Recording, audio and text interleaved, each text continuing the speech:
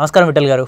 నమస్తే అండి. ఎలా ఉన్నారు సార్? Super super. చాలా బాగున్నాను. సార్ ఒక బిజినెస్ మ్యాన్గా ఒక బిజినెస్ కోచ్గా ఒక మెంటర్గా ఎన్నో అద్భుతాలు చేశారు. ఎంతో సక్సెస్ఫుల్ పర్సన్ మీరు. ఎంతో మందికి సపోర్ట్ చేస్తున్నారు ఎంతో మందికి గైడ్ చేస్తూ ఉన్నారు. ఎస్ అయితే ఒక పర్సన్ అంటే ఈ రోజుల్లో చూసుకున్నట్లయితే జాబ్ చేయడం కంటే బిజినెస్ చేస్తేనే బాగుంటుంది అని అనుకునే వాళ్ళు ఎంతో మంది ఉన్నారు. ఒక బిజినెస్ స్టార్ట్ చేయాలి అని అంటే ఎలాంటి మైండ్ సెట్ ఉండాలి ఎలాంటి ఆలోచనతోటి ఆ బిజినెస్ స్టార్ట్ చేస్తే బాగుంటుంది అంటారు sir? Yeah very good question అండి Venkat garu. Sir. Very good question so first of all business అంటే ఏంటి అనే దగ్గర నుంచి నేను తీసుకుంటాను. Okay. Yeah. So first business అంటేనే అందరికీ ఐడియా ఉన్నట్టుంది ఏంటంటే ఎస్పెషల్గా నేను రీటైల్ బిజినెస్ కోచ్ కాబట్టి రీటైల్ బిజినెస్ గురించే తీసుకుంటాను. ఓకే. సో ఒక రీటైల్ బిజినెస్ అనగానే అందరికి వచ్చేటటువంటిది ఒకటి ఏంటి అంటే స్టాక్ తీసుకురావాలి లేదంటే ప్రోడక్ట్స్ తీసుకురావాలి అండ్ వాటిని మన స్టోర్లో పెట్టేసేయాలి. దాని తర్వాత అన్ని కూడా సెల్ చేసేసేయాలి. సో వచ్చినటువంటి ప్రాఫిట్ ఏదైతే ఉంటుందో ఆ ప్రాఫిట్తోని తన ఫ్యామిలీకి సంబంధించినటువంటి ఖర్చులు కానీ లేదు అంటే ఒక మహా అయితే ఇంకొక వెహికల్ కొనుక్కోవడం దాని తర్వాత ఇంకొక ఏదైనా హౌస్ తీసుకోవడం ఇంతవరకు అందరు ఆలోచిస్తారనమాట సో అది ఒకవేళ ఆ పర్సన్ ఏదైనా ఫంక్షన్కి వెళ్ళినా ఆ పర్సన్కి ఏదైనా హెల్త్ ఇష్యూస్ వచ్చినా స్టోర్ బంద్ పెట్టడం తప్పితే ఇంకొక ఆప్షన్ అనేది దొరకదు వాళ్ళకు. ఎస్ అండ్ ఇంకొకటి కూడా ఏమవుతుందంటే మరి ఈ పర్సన్ కొన్ని ఇయర్స్ తర్వాత తనకు సంబంధించినటువంటి వారసులు ఉంటారు కదా వాళ్ళకు బిజినెస్ పైన ఇంట్రెస్ట్ ఉంటే పర్లేదు. లేదు అనుకుంటే ఆ బిజినెస్ అంతా కూడా మూసేసుకుపోవడం అనమాట. అంటే దీని అంతని బట్టి నేను ఒకటే ఏం చెప్పదలుచుకున్నానంటే బిజినెస్ మీన్స్ ఆ పర్సన్ ప్రాఫిట్ సంపాదించుకోవడం ఒకటే కాదు. ఆ బిజినెస్ నుంచి బయటికి రాగలగాలి. ఆ బిజినెస్ తను లేకుండా నడపగలగాలి. అప్పుడు మాత్రమే అది బిజినెస్ అవుతుంది. ఓవరాల్గా దీని ఎంటైర్ కాన్సెప్ట్ నేను చెప్పాలంటే బిజినెస్ అనేది కమర్షియల్గా ప్రాఫిటబుల్గా ఉండొచ్చు కానీ దాంతోపాటు బిజినెస్ మనం లేకుండా రన్ అయినప్పుడు మాత్రమే అది నిజమైనటువంటి బిజినెస్ అనేది అవుతుందన్నమాట. ఓకే. ఎస్ సో ఒక బిజినెస్ ఓనర్ ఈ రకంగా ఆలోచించినప్పుడు మాత్రమే ఒక రైట్ వేలో బిజినెస్ చేయగలుగుతాడు. ఇంకొకటి మీరు అనొచ్చు. ఒక జాబ్ అంటే ఏంటి? ఫస్ట్ ఆఫ్ ఆల్ జాబ్ అంటే ఎవరైతే ఆ పర్సన్ వర్క్ చేస్తూ ఉంటారు వేరే వాళ్ళు సంపాదించుకుంటూ ఉంటారు. First thing. అండ్ బిజినెస్ అంటే వేరే వాళ్ళు కష్టపడతా ఉంటారు టీం అంతా కూడా కష్టపడతా ఉంటుంది.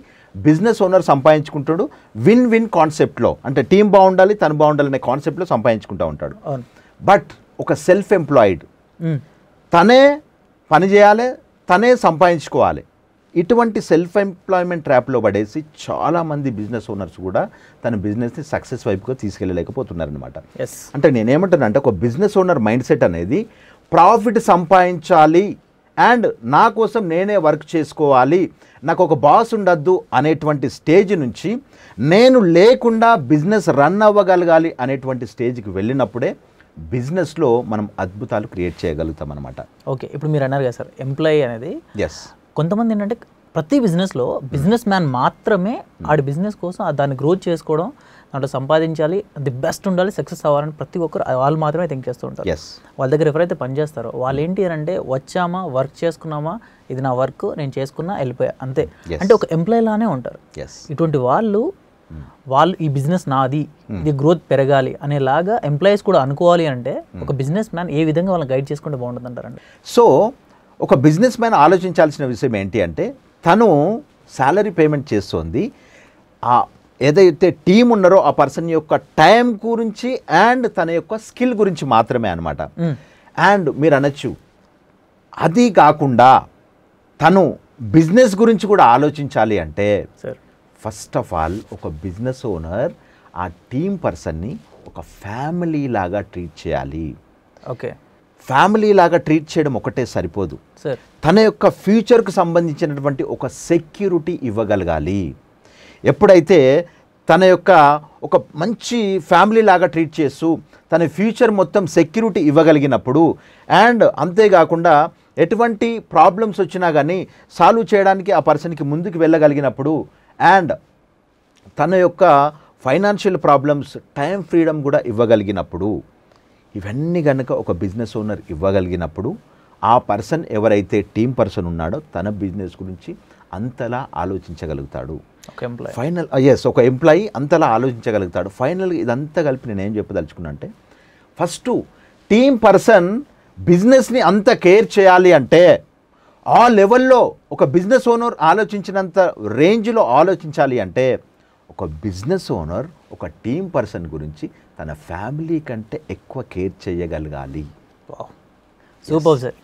ఇప్పుడు మీరు ఏదైతే స్టార్ట్ చేస్తున్నారో ఒక ప్రోగ్రామ్ అనేది రీటైల్ బ్రహ్మాస్త్ర అనేది ఎంతో మంది బిజినెస్లో గ్రోత్ పెంచుకోవాలని చూస్తూ ఉన్నారు. రీటైల్ బిజినెస్లో ఉన్న వాళ్ళు ఎస్ ఫెయిల్యూర్స్ చూస్తూ ఉన్నారు. ఎస్ డిజాస్టర్స్ చూస్తూ ఉన్నారు కొంతమంది అయితే. అండ్ ఇంకొంతమంది ఉన్న బిజినెస్ని గ్రోత్ పెంచుకోలేక అక్కడే ఉండిపోయే వాళ్ళు ఉన్నారు ఇటువంటి వాళ్ళకి ఈ రీటైల్ బ్రహ్మాస్త్ర అనేది ఏ విధంగా ఉపయోగపడుతుంది? ఎలా ఎన్రోల్ చేసుకోవచ్చు అంటారు సార్?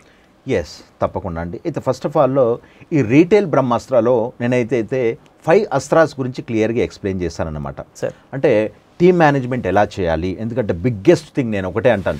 టీమ్ మేనేజ్మెంట్ తెలియగలిగితే నైంటీ పర్సెంట్ బిజినెస్ సక్సెస్ అయినట్టే. That is a biggest thing అది నేను ఎక్స్ప్లెయిన్ చేస్తాను ఎలా చేయాలి అంటే అనే బేసిక్స్ అన్ని కూడా చెప్తాను అక్కడ. దాంతోపాటు మార్కెటింగ్ అండ్ సేల్స్ గురించి and business owner mindset ఎలా ఉండాలి?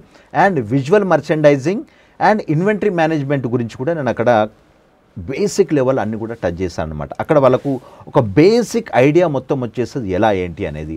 అండ్ ఈ రీటైల్ బ్రహ్మాస్త్రకు వచ్చేసి డైరెక్ట్గా ఏదైతే లింక్ ఉందో ఆ లింక్ను క్లిక్ చేసి వాళ్ళు ఎన్రోల్ చేసుకోవచ్చు ఒకటి. రెండోది మా టీం నెంబర్స్ ఉంటాయి మా టీం నెంబర్స్ అయినా కాంటాక్ట్ చేసి వాళ్ళు ఎన్రోల్ చేసుకోవచ్చు అనమాట ఓకే. సో ఇప్పుడు కొంతమంది అనుకుంటూ ఉంటారు రీటైల్ బ్రహ్మాస్త్ర అంటే డైరెక్ట్గా అక్కడికి వెళ్ళి నేర్చుకోవాలేమో సార్ దగ్గరికి వెళ్ళాలేమో అని చెప్పేసి అనుకుంటూ ఉంటారు కొంతమంది. సో దానికి అవసరం లేకుండా జూమ్ కాల్ అని డైరెక్ట్గా ఉంటుందా సార్ ఇది? ఎస్ ఇదంతా కూడా ఆన్లైన్ అండి. మొత్తం అంతా కూడా నేను ఫిజికల్ సెషన్స్ కాకుండా అప్పుడప్పుడు కండక్ట్ చేస్తూ ఉంటాం. బట్ ఇవన్నీ కూడా రీటైల్ బ్రహ్మాస్త్ర అనేది మాత్రం it is a demo class అంతా కూడా జూమ్లోనే జరుగుతుంది. ఓకే. కొంతమంది స్పెసిఫిక్గా అనుకుంటూ ఉంటారు సార్ అపాయింట్మెంట్ కావాలి డైరెక్ట్గా కూర్చొని బిజినెస్ గురించి మాట్లాడాలనుకున్న వాళ్ళు కొంతమంది ఉంటారు. ఇటువంటి వాళ్ళకి కానీ ఛాన్సెస్ ఉన్నాయంటారు సార్? సో రైట్ నౌ ఇంతకుముందు లాస్ట్ మంత్ వరకు కూడా చాలా మందికి వన్ టు వన్ కోచింగ్ అనేది నేను ఇచ్చానమాట సార్. సో రైట్ నౌ మేము వన్ టు వన్ కోచింగ్ ఇవ్వట్లేదు. అంతా కూడా గ్రూప్ కోచింగే ఇస్తున్నాము. కానీ. స్పెసిఫిక్గా ఎవరైతే రీటైల్ బ్రహ్మాస్త్రాకు వచ్చేసి నెక్స్ట్ మాతో జర్నీ చేయాలనుకున్నారో నాతో మాట్లాడాలనుకున్నారో వాళ్ళకి నేను ఆపర్చునిటీ అక్కడ ఇస్తానన్నమాట. Wow great sir thank you sir thank you so much అండి yeah thank you so much అండి వెంకట్ గారు థ్యాంక్ యూ సో చూసారు కదండి వీడియో? ఈ వీడియో పైన మీ అభిప్రాయాన్ని కామెంట్ రూపంలో తెలియచేయండి. అండ్ ఎవరైనా సరే రీటైల్ బ్రహ్మాస్త్ర అనే ఈ క్లాసెస్లో జాయిన్ అయ్యి ఈ బెస్ట్గా మీ బిజినెస్ని సక్సెస్ చేసుకోవాలనుకుంటే మాత్రం ఖచ్చితంగా ఈ క్లాసెస్లో ఎన్రోల్ చేసుకోండి. స్క్రీన్ మీద మీకు నెంబర్ కనిపిస్తుంటుంది ఆ నెంబర్ కాల్ చేసి ఖచ్చితంగా మీరు ఎన్రోల్ చేసుకోవచ్చు. ఈ వీడియోని మాత్రం లైక్ చేయండి షేర్ చేయండి సబ్స్క్రైబ్ చేసుకోవడం మాత్రం మర్చిపోద్దు నిజంగా షేర్ చేయండి. ఎందుకు అంటే మీకు అవసరం లేకపోయినా సరే మీకు తెలిసిన వాళ్ళకి ఎంతోమందికి అవసరం ఉంటుంది. Thank you so much.